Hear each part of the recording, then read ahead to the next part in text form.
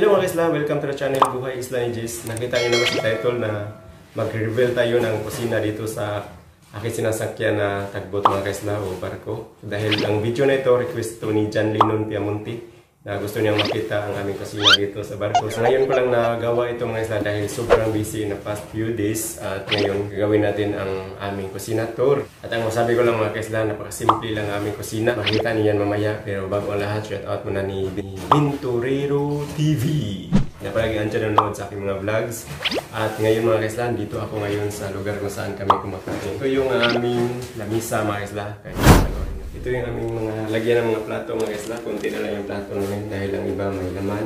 Ano dito may speaker para mag-PE yung kapitan o sino masalita doon sa bridge. Maririnig dito. Pwede rin ito patanogin mga kaisla. Pwede nga ito. Ito yung misa namin. Kung gusto mo pagkatapos mo magluto, kumakain ka dito. Ito may kanin pa mga kaisla. At ito, may stock kami na itlog mga kaisla. Yan, sa mga nag-news yan ng eggs.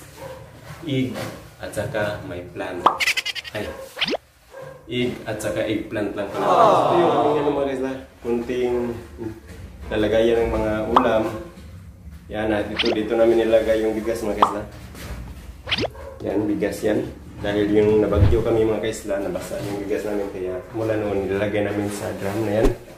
Dito ito nilagay mga kaisla para hindi makiat ng uod mga kaisla. Dahil ang uod mga kaisla, pag naabutan niya ng uod, kainin siya. Tingnan natin kung makakit pa bang uod yan.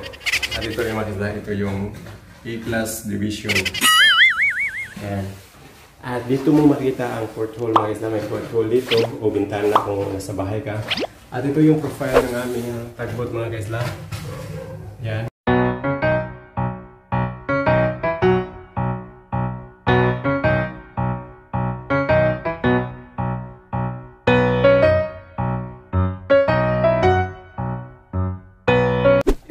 Kaisla, punta na tayo sa aming kusina kung saan talaga kami nagluluto. Tara, na, may pintuan dito. May, may lababo doon sa loob. Kaya tingnan natin. Ayan, pasok na tayo. Ito mga kaisla. Yan, nagluluto, nagluluto pa ng kanin. Ito yung thermos namin mga kaisla.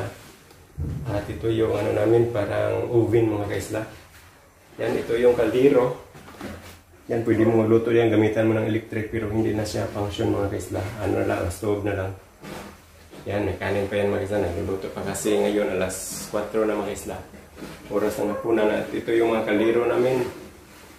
Yan, mga kaliro, yan ang gusto makita ni John Dinon Piamonte. Ano ba nito? May gari po. Yan, yan ang lababo namin. Ito ga? Ah, dito mga isa, ito yung kaldero namin. Yan. At ito yung, ito yung takore. Yan. Parang sa, nasa bahay lang din ninyo mga kaisla. Simple lang namin dito dahil magkala inter-island lang kami at hindi to gaya sa mga international vessel na napakaganda pang five-star hotel yung kusina nila. Kung ikaw ay magplano ng isang seaman at mag-experience ito sa inter-island, kung hindi ka pa nag-experience, ito, expect mo to ang mga ganitong pangyayari mga kaisla. At ito pa mga kaisla, ito yung mga switch sa ilaw to. Yan, pag ilaw at ito sa exhaust. Kasi may fan kami dito mga pag mausok na mga kaisla, ito may out kami doon. Kaya pag pinapandar mo, umiikot yan. Yan na mga kaisla, ito lang yung laman sa aming kusina.